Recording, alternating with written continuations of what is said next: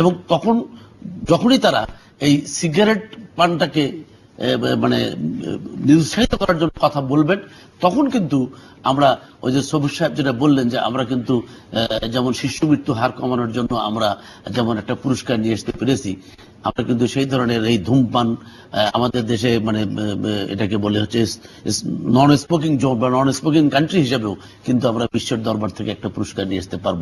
But মুখে এক কথা, অন্তরে এক কথা, যেটাকে ইয়েতে বলে মুনাফেক। মুনাফেকের এবাদত কিন্তু আল্লাহর দরবারে কবুল হয় না। এটা আকাশ এবং জমিনের মধ্যে ঝুলন্ত অবস্থায় থাকে।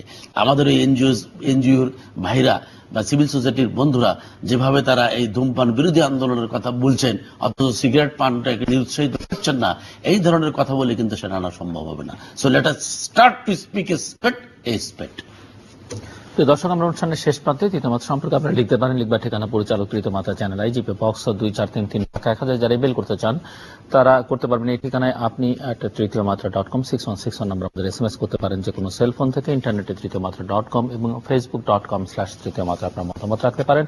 আর আপনার মতামত আমাদের অনুষ্ঠান তৃতীয় মাত্রা আপনি দেখতে পাবেন। প্রতি বৃহস্পতিবার এবং শুক্রবার বাংলাদেশ মারা দুটো এবং শুক্রবার দুপুর এক পাঁচ মিনিটে দেখবার আমন্ত্রণ মিস্টার বিজয় কৃষ্ণ দে ডক্টর মোহাম্মদ সবুর এবং অ্যাডভোকেট মোহাম্মদ হোসেন আপনার ধন্যবাদ আপনাদের তিনজনকেই।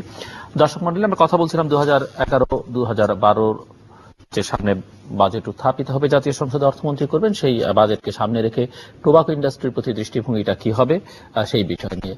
তিনজন আলোচকে একমত যে এই জায়গাটাতে সরকারের অবস্থান অত্যন্ত স্ববিরোধী একটা অবস্থানের মধ্যে আছে। এমনকি সরকারের বাইরে যারা ধূমপান বিরোধী আন্দোলনের সঙ্গে যুক্ত, তাদের অবস্থানটাও এক ধরনের ধোয়াটে অবস্থান। এবং সরকার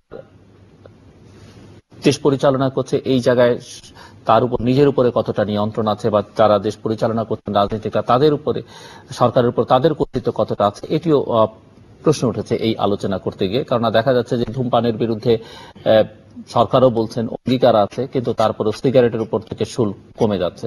বরং শ্রমঘন যে শিল্প আমাদের এখানে গরিব মানুষরা যে শিল্পের সঙ্গে কাজ করেন ধূমপানের ক্ষেত্রে শেয়ার শেয়ারিং যাদের সবচাইতে কম তাদের উপরে বরং আক্রোশটা অনেক বেশি। এই জায়গায় আহ, যেমনটা সংসদ সদস্য অ্যাডভোকেট মোহাম্মদ ফজলে রাব্বি বলছিলেন দোষটা মূলত আমলাদের পুরোক্রেসরা এই বিষয়গুলো তৈরি করে দেন এবং সেই জায়গা থেকে সরকারের বা নীতি নির্ধারকদের, আইন প্রণেতাদের কিছু করবার থাকে না। সেই সঙ্গে কথাও এসছে যে, আমরা হয়তো বা সরকার যখন দেশ পরিচালনা করে বিভিন্ন ক্ষেত্রে যখন নানা নীতি প্রণয়ন করবার প্রশ্ন আসে, তখন আমরা অনেক সময় দাতা গোষ্ঠীর উপরে দোষ চাপাই, কখনো কখনো দেশের অভ্যন্তরে বিভিন্ন সংস্থার উপরে দোষ চাপাই।